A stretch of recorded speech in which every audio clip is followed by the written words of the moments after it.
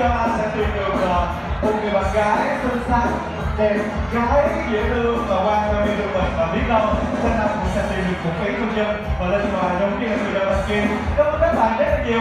Còn các bạn còn lại xin chúc các bạn nè sẽ luôn luôn xinh đẹp luôn luôn dễ thương và thật là may mắn khi tìm được một nửa của mình các bạn nhé. Cảm ơn các bạn rất là nhiều.